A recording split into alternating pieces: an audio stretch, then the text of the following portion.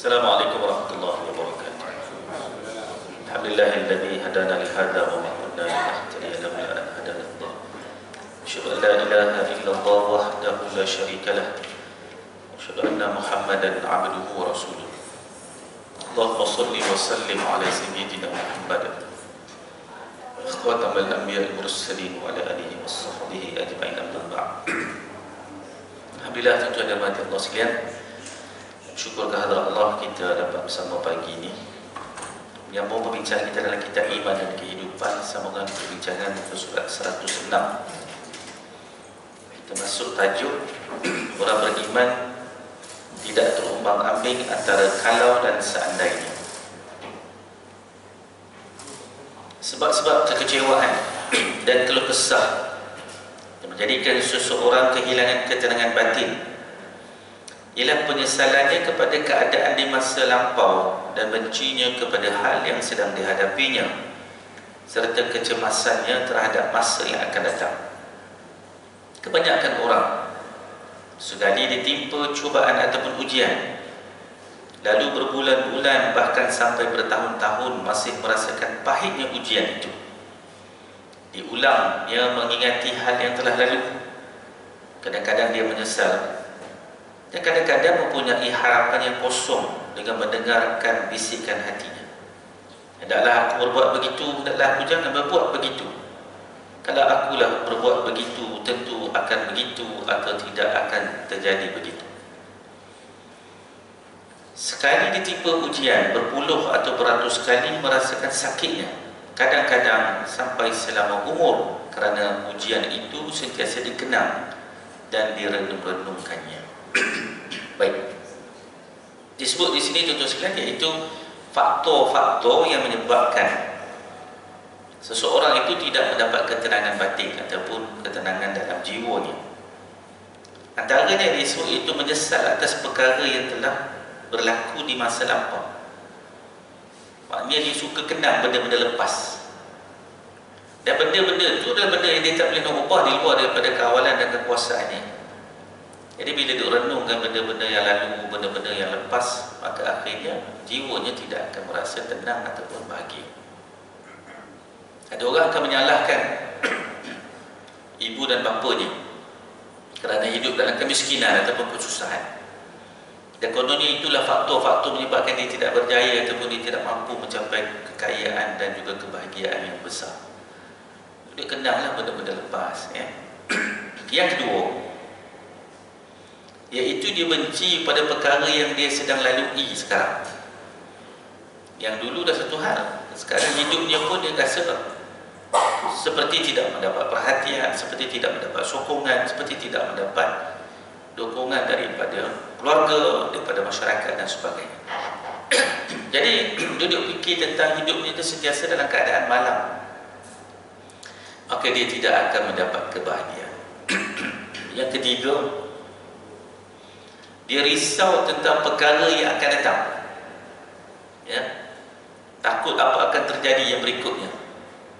Maka orang begini juga tidak akan mendapat ketenangan. Takut dia apa akan jadi esok, lusa dan sebagainya iaitu tentang kehidupan-kehidupan dunia ya menyebabkan dia pun akhirnya susah hati, tak tenang, risau mukanya pun kelap dan sebagainya jadi ini daripada faktor-faktor yang menyebabkan seseorang itu tidak mendapat ketenangan batin ataupun kebahagiaan dalam jiwanya kata Dr. Yusuf Pertawi kebanyakan orang apabila ditimpa dengan sesuatu cubaan ataupun ujian Lalu dia pun mengenang-enang peristiwa tersebut ataupun ujian itu selama berbulan-bulan bahkan bertahun-tahun dan seumur hidupnya. Manusia ni hidup memang ada ujian. Maka ada ujian. Tak ada manusia yang tak ditimpa ujian. Ujiannya pelbagai. Ada yang senang, ada susah, ada sakit, ada sehat. Ada anak ramai, ada anak sedikit. Semua di situ ada ujian. Tetapi ujian-ujian yang pahit itu cuba dikenangkan dan diulang-ulang mengingatinya. Kadang-kadang timbul dalam dirinya perasaan menyesal. Kadang-kadang dia hilang harapan kepada Tuhan. Ha, dia juga perempuan kadang-kadang dia berkahwin kan. Dia berkahwin. Kemudian rumah tangga dia tak bahagia kerana dapat suami yang bermasalah. Suami yang macam-macam hal. Lalu berlakulah perceraian. Apabila berlaku perceraian maka dia pun kata serik dah nak kahwin. Padahal laki dia seorang tu dia jahat. Laki orang lain baik dia lalu dia kata semua lelaki sama mana boleh macam tu ini kerana peristiwa-peristiwa tu memakan diri dia dan mungkin kerana pengalaman pahitnya kan berumah tangga dan sebagainya. Lepas tu saya kata ujian dekat semua orang ni tidak tidak sama. Ada orang bahagia sampai ke hari tua. Ada orang di hari tua tu dia bercerai, berpisah. Ada. Tiga minggu lepas ada satu pasangan datang. Consultation di pejabat saya. Perkahwinan 35 tahun. Dan isterinya menuntut cerai dengan suaminya. Ya, datang daripada Kelang ya, suami dia membuat hal juga. Ya, berkahwin dengan seorang wanita Indonesia semasa bekerja di Jeddah. Dengan macam-macam hal lah. Jadi isteri dia pun kata suami dia memang daripada dulu ke sekarang memang kaki cari betina. 35 ha, tahun berkahwin. 35 tahun dah ada anak, dah ada cucu. Dan sudah ada hearing case pada 10 hari bulan 10 ni. Untuk perbicaraan sebab isteri dia pakai lawyer. Dia pakai lawyer jadi cepat sikit lah. Jadi 35 tahun berkahwin lalu tak sampai kepada penghujungnya ialah perceraian jadi kita tak tahu apakah yang akan datang menguji kita ni. Dan ada orang dia tak ada harapan yang indah. Tak adalah dia kata tak adalah ini memang macam ni lah. Kesudahan begitu. Tak ada lagi dah harapan-harapan yang baik dan sebagainya. Antara sebabnya dia kata ialah dia banyak mendengar bisikan-bisikan hatinya. Ha, ini faktor-faktor dia lah. Faktornya kadang-kadang banyak sangat dengar bisikan hati, hilang pengharapan kepada Tuhan, doa pun tak ada. Duk kenal peristiwa-peristiwa lampau lah. Ha, macam kes yang saya handle, dia kata, suami ni saya Ustaz, daripada dulu lagi memang duk suka perempuan. Ha, tapi dia kata tak buat dah, tak buat dah, kesudahan dia kahwin juga dengan seorang perempuan uh, Indonesia tanpa mengikut proses perkahwinan yang sebenarnya. Saya pun tanya Pak Haji kahwin macam mana ni? Panggil kawan-kawan nikah ya dekat bilik hotel. Itu saya jumpa Pak Haji ni dekat Madinah, duduk di Madinah masa lagi Haji itu, duduk sebelah dia. Tak macam mana dia pun bercerita masalah dia. Jadi masalah juga orang lelaki ni. Bila dia pandai pusing ayat-ayat Quran ni kita pun jadi pening dia. Dia kata ustaz ini takdir Allah untuk saya berkahwin. Jadi isteri saya kena terima takdir ini. Dia main ayat Quran ni ayat agama dia tu kita pun pening lah jadi pandai dia pusing. Pak Haji ni pula tablik pula tu. Lagi dia pusing pandai. Jadi isteri dia pun jawab. Dia kata awak terimalah takdir bahawa Tuhan yang mentakdirkan saya memfailkan kes perceraian ni. Ah sudah. Kita pun pening Laki cakap takdir, bini pun cakap takdir juga Dua-dua main takdir Jadi saya pula ditakdirkan mendengar Masalah dia pun Pening tu kan Main takdir-takdir yang pening. Dia tak faham pun takdir tu apa dia kan. Ada takdir mu'allak Ada takdir mu'bram. Dia main takdir je. Akhirnya dia menyalahkan takdir Ada apa yang berlaku. Padahal Tuhan tu tidak bersifat zalim. Tuhan tak pernah menzalimi mana-mana orang pun.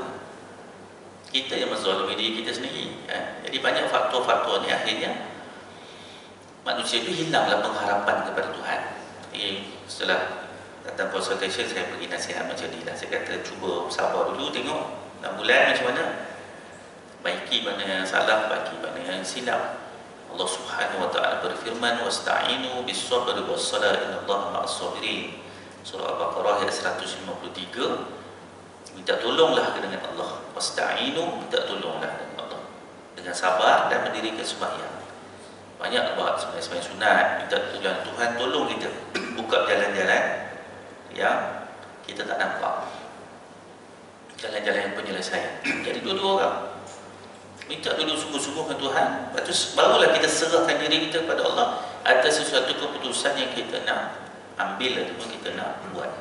Barulah kita akan merasakan bahawa keputusan yang kita buat itu adalah dengan bimbingan daripada Allah Subhanahu Wa Taala. Sebab itu Dr. Syukurtawi sebut di sini apabila manusia itu mendengar bisikan hatinya dia dengar apa kata hati dia. Dia tak nak dengar apa firman-firman Allah. Dia tak nak dengar hadis-hadis Nabi SAW dia tak nak dengar. Dia dengar kata hati dia lah.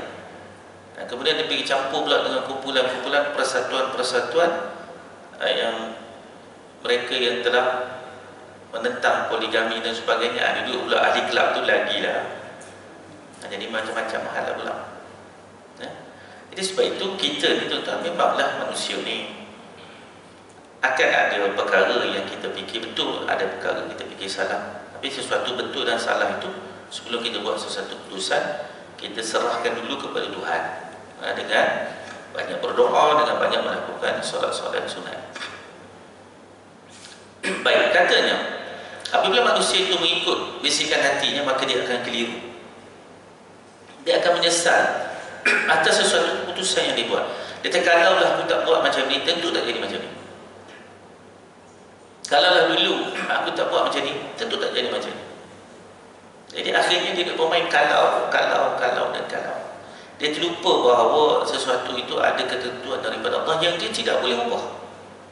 Dia tak boleh ubah Itulah ketetapan Allah Subhanahu Wa Taala.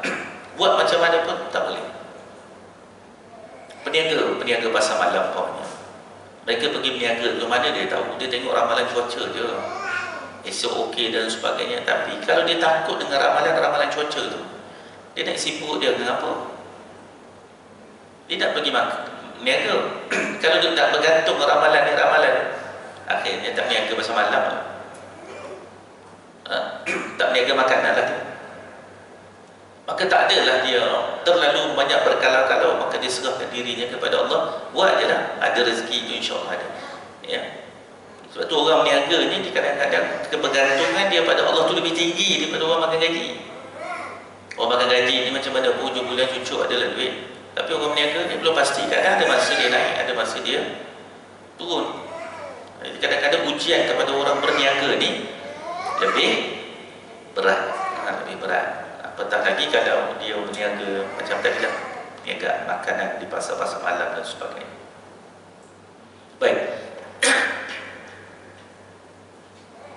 Antara yang menyebabkan manusia itu tidak dapat menerima sesuatu takdir ataupun ujian ataupun cobaan adalah apabila ditimpa dengan sesuatu ujian dia merasakan sakitnya itu beratus-ratus kali sebab itulah dalam Al-Quran Allah Subhanahu wa taala cerita kepada Nabi kita Muhammad sallallahu alaihi wasallam tentang rasul-rasul yang terdahulu. Kalau kita tengok Nabi kita Muhammad sallallahu alaihi wasallam ujiannya berat lah. Lalu Tuhan kata wahai Muhammad kalau kami tak ceritakan kepada kamu kisah-kisah Nabi-Nabi yang terdahulu kamu tak akan tahu. Ujian dulu lagi teruk ya, supaya Nabi tahu bahawa bukan dia saja dia tipu ujian walaupun kita tengok sejarah Nabi Nabi ujiannya macam-macam. Tapi Tuhan kata tak ada di antara kami hamba-hamba kami yang diuji dengan berat. Sebab itu ada Rasul-Rasul Ulul Azmi. Ya, Rasul-Rasul yang banyak tipu ujian antaranya Nabi Musa Nabi Nuh Nabi Ibrahim dan juga Nabi Isa alaihissalam jadi Tuhan suruh Nabi tengok ni Rasul-Rasul ni. Nabi Ibrahim kahwin dah tak dapat zuriat. Dah umur ke 80 tahun baru dapat Nabi Ismail dan juga Ishaq Dah tua dah baru dapat anak. Tua dah. Dah dapat anak suruh tinggal pula ke padang pasir. Tempat tak ada orang. Dah anak tu meningkat dewasa dia suruh sembelih pula. Ujian dahsyat. Nabi Musa pun sama pisah dengan mak dia. Dan kemudian dakwah kepada Bani Israel. Mukjizat datang macam-macam. Akhirnya mereka cipta pula lembu daripada emas. Tak tension tu tension tu dah dapat makanan daripada syurga lagi. Akhirnya dia sembah selain pada Allah. Tension tak tension? Tension. Gegam marahnya Nabi Musa AS sampai dia tarik rambut dan juga janggut Nabi Harun AS geram kami lepas geram kat Nabi Harun. Apa kamu buat ni? Geram. Kita tak ada lagi dah tarik janggut untuk imam untuk bila tak ada lagi geram yang besar. Sembah selain pada Allah lagi dah tengok mujizat depan mata lagi. Jadi Tuhan cerita tentang yang terdahulu. Sahabat-sahabat Nabi pun begitu. Kabab bin Al-Arad datang mengadu kepada Nabi dia diseksa dahsyat tarik baju dia. Ya? Angkat jubah dia. Ya Rasulullah tengok belakang aku ni. Aku diseksa diheret di atas bara api. Bila akan datang nasrul min Allah bila Tuhan datang ke pertolongannya maknanya mustahkan ni orang yang seksa kita ni penentang-penentang kita ni golongan musyrikin. Apa Nabi jawab Nabi kata sesungguhnya Nabi-Nabi yang terdahulu ada di antara mereka yang digergaji kepalanya daripada atas sampai bawah putu dua. Tetapi mereka tidak tanya bila kan datangnya Nasrul bin Allah, kamu adalah golongan yang dipanggil mustahajilu, pupuk. Nak cepat.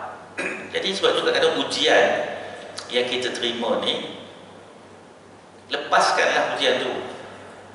Memanglah berat, tapi cuba lepaskan dan bergantunglah kepada Allah Subhanahu Wa Taala. Kalau duk fikir-fikir, kalau duk genung-genung, maka kita tidak akan sakit daripada, tidak akan sembuh daripada sakit. Takkan sembuh, duk fikir. Ya. Ha, jadi kita ni ingatlah bahawa ujian-ujian yang berlaku itu mematangkan kita, menjadikan kita lebih baik. Kalau tak ada ujian, payah juga. Ya. Ha, ujian ni menyebabkan kita jadi matang, menjadikan kita lebih yakin pada Tuhan. Dulu kerja rasa, eh kalau kena buang kerja ni macam mana? Berdepan dengan nak berhenti kerja tak nak berhenti kerja. Gaji besar ni. Tapi gaji besar ni ada situ ada unsur-unsur haram.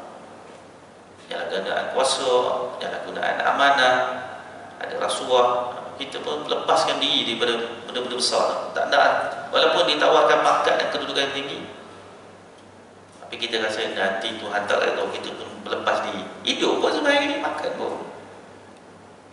Ya. Tak adalah mewah macam dulu tapi tak ada terlibat benda-benda haram. Apa makna terlibat dengan benda-benda haram? Mewah ke benda haram? Apa makna?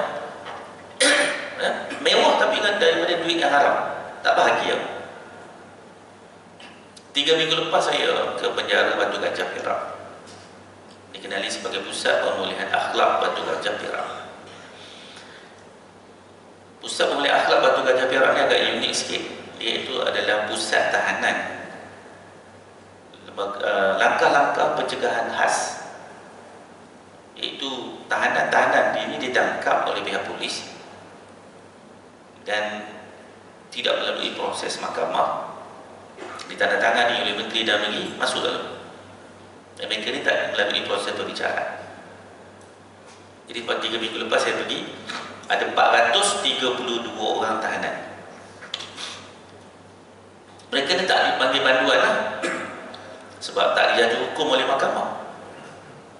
Siapa mereka ni? Mereka ni terdiri daripada taikun-taikun dadah.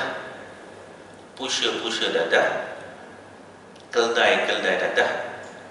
Dan ada juga di antara mereka yang terlibat daripada gangsterism. 432 orang ada kat situ. 50 orang daripada ni India. 30 orang uh, Tionghoa. Dan ada 30 orang wanita Melayu yang menjadi keldai-keldai dadah. Kebanyakan mereka ni pernah ditangkap atas kesalahan mengambil dadah juga. Keluar mereka jadi pusher. Jadi bila saya pergi nak ceramah situ, saya diletakkan dengan um, tahanan yang jumlah 60 orang. Mereka ni pula baru ditahan sekitar sebulan. Jadi bila nak ceramah dengan tahanan yang baru sebulan mereka dah tangkap ni muka mereka ni masam lah, masam, kelam, tension. Sebab kena tangkap, tak masuk mahkamah, kena tahan dalam tu selama 2 tahun. Mana Menteri Dalam Negeri saya 2 tahun. Selepas 3 bulan, maka mereka boleh buat review lah, buat review. Akan ada lembaga daripada bekas-bekas hakim akan datang melihat uh, permohonan review penahanan mereka itu yang di lembaga daripada bekas-bekas hakim. Ada di antara mereka yang diarahkan dibebaskan. Ada di antara mereka yang ambil peguam lawan balik. Ada di antara mereka yang kekal duduk situ selama 2 tahun. Dan lepas 2 tahun kalau okey bebas. Kalau tak okey sambung lagi 2 tahun. Jadi tuan-tuan bila saya pergi ke situ wanita 30 orang yang menjadi keldai dadah dan semuanya Melayu. Tak ada bangsa lain. Keldai dadah perempuan Melayu semua. Bila saya nak ceramah itu jadi mereka ni pakai baju putih seluar putih lah baju pagoda seluar putih. Sebab mereka ni bukan banduan bila banduan ni dia ada baju kuning ada, ada baju merah hijau biru ada nombor pada badan. Mereka ni tak ada lah sebab dia panggil tahanan. Jadi nak ceramah ni tengok payah sikit lah. Pasar je buku dah dah kena tangkap kena ceramah pula ni dan kawalan agak ketat lah sikit. Jadi saya masa ceramah ni sebelah kanan saya ada penjaga belakang ada, sebelah kiri ada. Sebab mereka ni emosi belum stabil lagi kena tangkap. Maklum tuan-tuan masuk penjaga batu gajah ni ataupun dia panggil pusat pemulihan akhlak batu gajah ni ada penjara yang didirikan oleh British pada tahun 1902 jadi penjara uh, batu gajah perak ni penjara ketiga yang tertua di Malaysia. Yang pertama Georgetown yang kedua penjara Taiping. Yang ketiga batu gajah. Jadi penjara batu gajah ni bila British buat dia memang tak ada toilet lah memang tak ada toilet. Jadi buang air dalam paket buang air dalam paket dalam baldi. Dan kemudian dia bawa keluar baldi tu dia pergi curah lah tempat yang disediakan jadi tak selesa lah tu kan. Memang tak selesa lah duduk jaga memang tak selesa. Bila saya ceramah dia orang ni cubalah ambil hati dia orang dan sebagainya. Pujuk dia orang ok lah Alhamdulillah dia orang pun bagi respon yang baik. Jadi saya pun tanya dah, dah tahu maklumat latar belakang yang ni kebanyakannya pusher-pusher datang tapi jumlahnya kecil lah tidaklah sampai hukuman gantung dan mereka ni berulang kali uh, menjadi pusher datang eh saya pun tanya mereka. Saya kata saya dapat tahu tuan-tuan ni ditangkap ni masuk sini ni sebab tiba dengan penjualan dadah jadi pusher. So, saya pun tanya boleh saya tahu jadi pusher ni banyak ke dapat duit? Oh dia kata banyak dapat duit Ustaz. Banyak dapat duit, banyak ni. Sekali jual seribu setengah, tiga ribu dalam tangan. Oh banyak kan Banyak lah Seribu setengah, tiga ribu. Tak payah susah-susah, tak kerja lapan jam. Jadi duit banyak tu nak buat apa Dan dia kata duit banyak boleh beli macam-macam. Pandai pula yang boleh beli macam-macam. Terus tanya apa yang awak dah beli? Rumah banglo dia? Tak ada dia kata. Ada beli iPhone yang paling mahal. Tak ada juga dia kata. Ada pergi melancong sana sini. Dia kata tak ada juga. Ada beli motor SYM yang harga 8,900 beli tak ada, curi ada dia tak jadi mana duit tu yang banyak duit tu mana dia sekarang ni? Barulah mereka duduk terkebir-kebir tu duduk fikir mana duit tu? Yang kamu kata jual dah, dah duit banyak tu mana dia? Mana duit tu pergi? Tak ada pun. Dan akhirnya masuk ke sini pakai baju baju pagoda dengan seluar putih underwear pun tak boleh pakai. Duit pun tak ada. Memang dia menjaga tak boleh pakai underwear pun mana duit yang banyak-banyak tu? Yang habis masa. Duduk kat luar dengan kebebasan dijual benda-benda ni akhirnya masuk tu dalam ni. Mana duit? Banyak-banyak. Barulah tuan-tuan mereka duduk duduk renung fikir. Bila hidup ni tu tak ada keberkatan Itulah jadi dia. Duit banyak pun tak ada makna. Tak ada makna. Ya?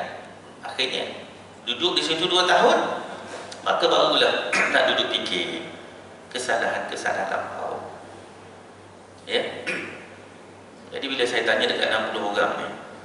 Saya tanya Duduk sini semayang? Sekarang semayang lah Sebulan lah Baru sebulan masuk. Ah, Baca Quran lah.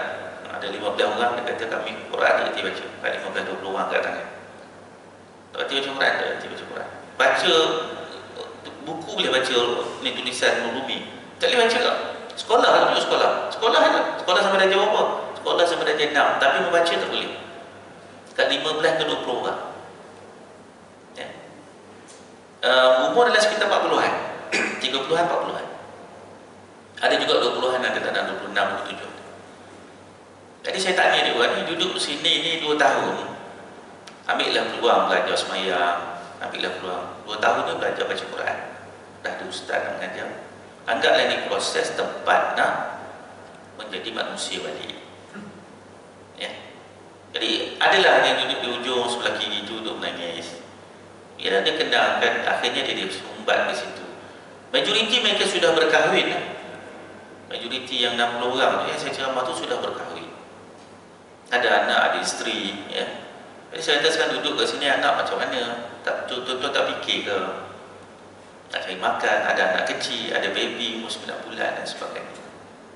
Barulah tuan-tuan bila duduk dikurung macam tu maka fikiran dia akan melayang. ya. Jadi saya baca dari surah tu Al-Mu'minun ayat 11 hingga 14 kepada mereka. Iaitu kisah yang Tuhan cerita. Kita ni datang dari mana-mana. Dulu duduk dalam rahim mak tu dia panggil Kharari Makin duduk tumpang dalam rahim mak. Kita ni semua datang cecair. Dan duduk situ 9 bulan. Susah payah mak kita. Sakit dia masa kita duduk dalam perut dia tumpang penat dia mengah dia ya. Bila kita keluar tu seronok mak kita kan seronok. Satu beban dalam perut dia keluar dia seronok. Dan tu beban itu adalah beban yang dia sayang. Kita ni tu kalau hilang beban daripada belakang kita kita lepas kita nak tengok dah betul tak? Oh kita lepas beban tu tinggal tak nak fikir dah. Tapi mak kita dia lepas beban dia sayang beban. Beban tu dia sayang dia peluk dia kita dah ha, kita kalau ada satu beban lepas Alhamdulillah kata tapi mak dia lepas beban tu tapi dia sayang beban tu. Berjaga malam dan sebagainya. Jadi apa kita nak balas balik kat mak kita tu? Jadi manusia je lah. Manusia baik yang boleh mendoakan dia. Ya, mungkin mak kita kita tak sempat buat baik dia kita nakal dulu. Sekarang dah duduk sini 2 tahun cukup fikir mak kita tak pernah pun cekik kita masa kita kecil-kecil dulu bagi mati senang payah menyusahkan hidup tapi tak, kita tak sempat nak balas budi dia. Mungkin dia pula akan meninggal dunia. Tapi kita duduk sini fikirlah kata, apa kita nak buat. Ya, doakanlah dia. Doa kat dia, moga-moga pahala yang kita buat ini sampai. Barulah ada di antara mereka menangis. Baru terfikir balik. Barulah duduk seorang-seorang ni, baru terfikir jasa mak. Ya, baru terfikir jasa bapa, baru terfikir tentang kebebasan. Lepas tu saya tanya duduk sini boleh semayang, boleh semayang. Ada orang nak ajar, ada orang ajar. Kenapa orang nak ajar semayang? Sebab tandanya orang sayang. Kenapa orang ajar kita baca Quran? Tandanya orang peduli. Saya ni pun datang jauh-jauh mari ceramah ke penjaga ni. Jumpa tuan-tuan ni bukan sedara mara saya pun saya ada. Tapi datang ni menunjukkan kita peduli. Kita nak mereka jadi manusia.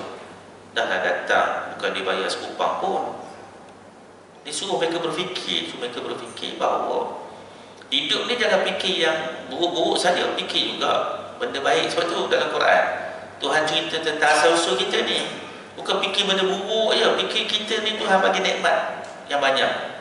Wa in ta'atu ni'matallah la tuhsuha innallaha laghafurur rahim. Dalam surah An-Nahl, surah 16 ayat 18. Dalam surah Ibrahim Tuhan ulang ayat 42. Kalau kamu kenangkan nikmat-nikmat yang aku bagi pada kamu tu, nescaya kamu tak dapat mampu menghitungnya. Kalau kamu hitung-hitung, kamu tak boleh hitung. Jadi kita ni hidupnya kan fikir masalah sangat. Fikir nikmat tu. Nak fikir masalah tu, tu tak habis lah masalah. Mati esok ada masalah lagi. Masalah nak jawab dengan muka dengan nakir. Bangun esok pada masyarakat, ada masalah lagi. Masalah nak berdepan dengan Tuhan.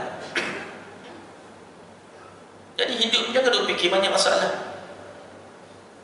Masalah tu memang akan datang Ujian akan datang Tapi cuba fikir nikmat Nikmat yang kita dapat ni banyak lah Baru-baru sekarang ya Nikmat-nikmat tu kita pun rasa dah berkurangan Dengan faktor keuzuran kita tu.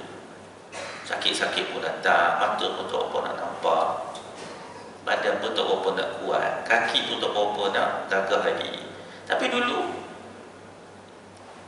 Merata kita pergi jalan sana jalan sini. Ambil nikmat-nikmat Allah. Banyaklah Tuhan bagi. Eh, sekarang Tuhan tariklah sikit-sikit. Tarik tu bukan Tuhan benci.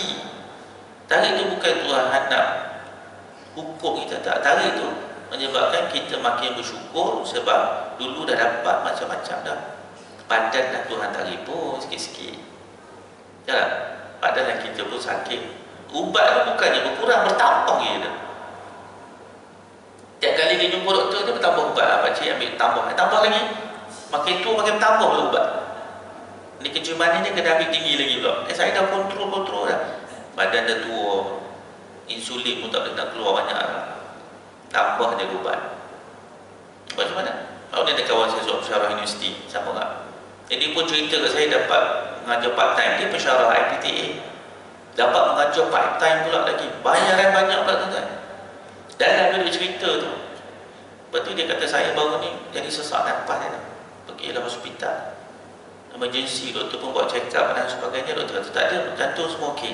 Tapi ada masalah GERD Masalah angin dalam badan dia tu dalam dalam mencengkam di bahagian paru-paru dan jantung pergi hospital dia waktu pergi farmasi yang doktor suruh beli ubat. Kata ubat ni ustaz mahal dia sekali beli 400 ringgit dia tu tu tak, tak tahan sebulan tu. Jadi saya pun kata padan lah kata. Padan apa ustaz? Tu dapat mengajar part time tu duit banyak kena beli ubat. Tak ada nak enjoy ni. Baru boleh dapat part time seronok. Duit belanja tu kena beli ubat lah pula. Makin banyak dapat makin banyak ubat kena makan. Dia pun senyum kata tu lah. Pusingan hidup macam tu lah Ustaz. Kita ni macam tu lah kadang-kadang kita ingat dapat banyak tu dah lah seronok nak enjoy sekarang hmm, tak ada. Tuhan suruh beli ubat makan. Ya. jadi tuan-tuan dalam hidup ni jangan fikir masalah banyak. Masalah akan datang pasti datang. Ya tapi fikir tentang nikmat-nikmat Tuhan yang banyak. Barulah kita akan dapat keterangan-keterangan batin. Kalau kita duk fikir masalah tu serabu serabu serabu nah, jadi serabu tu tu bila otak kita duduk fikir masalah. Wajah kita pun tak akan jadi ceria. Wajah kita tak akan jadi ceria.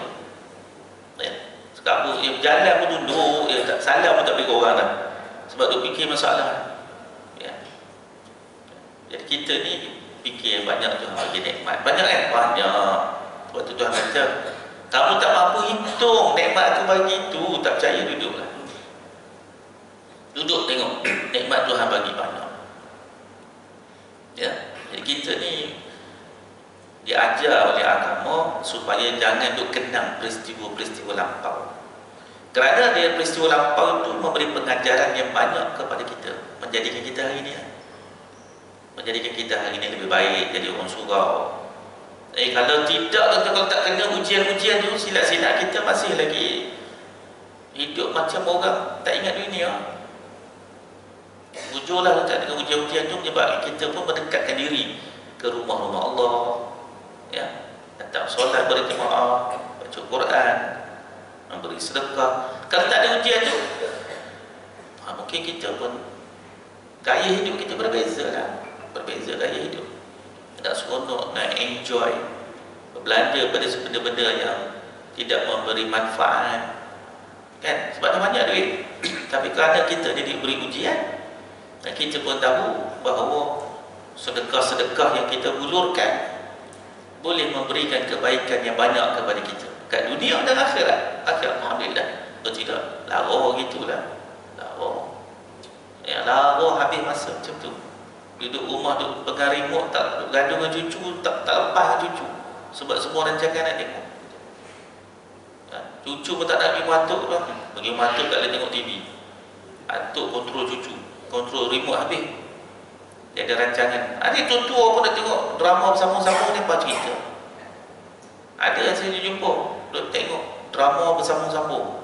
Umur 60 lebih drama apa lagi dah? Awak punya drama tu kena tengok tak lama dah tu. Tapi kita lah Alhamdulillah Tuhan tak tak bagi kita macam tu kan. Tak jadikan kita macam tu. Syukurlah Alhamdulillah. Jadi ujian-ujian yang telah menimpa kita menjadikan kita menjadi orang-orang yang lebih nampak ke hadapan oleh sebab itu ahli-ahli kesatuan jiwa mengatakan ahli-ahli masyarakat sarjana pendidikan dan pemimpin-pemimpin sekerja menasihatkan supaya seseorang melupakan penderitaan masa silam hidup menurut keadaan hari yang dipunyainya. Masa yang lalu sudah pergi tidak akan kembali lagi. Jadi tuan-tuan semua sama ada di falsafah, ahli akademik, ahli perubatan, ahli psikologi akan menasihat benda yang sama hadapi masa sekarang ya? hadapi masa sekarang masa yang lalu tak boleh lagi dah kita ubah semalam kita tak ubah lah. semalam hari Jumaat. Habis ya? hari ini hari Sabtu. Jadi jangan duk kenal lah semalam hari Jumaat tak dan ni tak dan. Tak apa dia dah dapat tunggu Jumaat akan datang pula.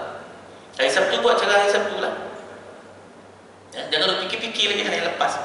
Berbaki ada beberapa hari ni tengok yang ke depan ni apa yang kita boleh buat untuk memperoleh gambaran, gambaran yang lebih mudah seorang pensyarah di salah satu universiti di Amerika Syarikat membuat perbandingan yang tepat dan menarik. Ketika pensyarah itu berdialog dengan mahasiswanya pensyarah itu bertanya berapa orangkah di antara kamu yang boleh menggergaji kayu? Maka beberapa orang mahasiswa mengangkat tangannya. Kemudian pensyarah itu bertanya pula Berapa orangkah di antara kamu yang boleh menggergaji serbuk kayu? Ada seorang pun yang mengangkat tangannya. Lalu pensyarah itu berkata, Sudah tentu tidak mungkin seseorang menggergaji serbuk kayu. Begitulah keadaan dengan masa yang lalu. Apabila kamu masih merasa kecewa dan berkeluh kesah kerana peristiwa yang menimpa kamu di masa yang lalu, maka ketahuilah bahawa kamu sedang menggergaji serbuk kayu. Dia bagi contoh lah, dia kata, benda yang dah lepas tu lepas. Dan tak payah lagi tu renung, tu fikir, simpan dalam benak hati kita dan kotak fikiran kita. Kerana kekecewaan dan kegelisahan yang masa lalu tidak akan memberikan apa-apa manfaat kepada sesiapa pun.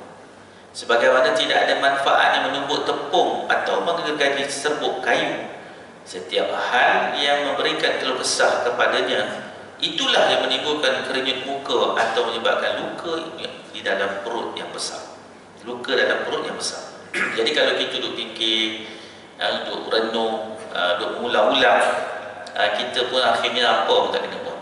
Jadi yang lepas tu lepas. Jadi dalam kehidupan kita ada sejarah manis Ada cara silam Itu asam garam dalam pusingan kehidupan. Maka oleh sebab itu Islam mengajar kita apa dia? iaitu ikutlah sebagaimana yang diajarkan oleh agama orang beriman itu mestilah yakin akan kodok dan qadar yang telah ditentukan oleh Tuhan dan tidak mahu menyerahkan dirinya kepada mangsa keadaan. Iaitu dengan mengenang peristiwa yang telah lalu. Dan dia yakin bahawa sesuatu yang telah diputuskan oleh Allah pasti terjadi. Apa yang menimpanya perlu diterima dengan rela dan redha. Sebagaimana diajarkan oleh Rasulullah SAW dalam menghadapi setiap peristiwa iaitu janganlah mengucapkan kalau kiranya begini ataupun begitu hendaknya begini ataupun begitu. Beliau suruh mengucapkan qadarallahu wa ma syaa fa'al fa illau taftahu amal syaitan. Allah telah mentakdirkan dengan apa yang dikehendakinya diperbuat. Kerana mengucapkan kalau hanyalah membukakan pintu-pintu amal syaitan. Hadis riwayat oleh muslim jadi Nabi sebut dalam hadis ni ada perkara yang kita tak boleh ubah tu takdir Allah. Takdir Allah tu maka bila Tuhan takdirkan terimalah. Walaupun kita rasa takdir tu macam berat pahit nak ditelan dan sebagainya maka janganlah diucap kalau kalau kalau kalau.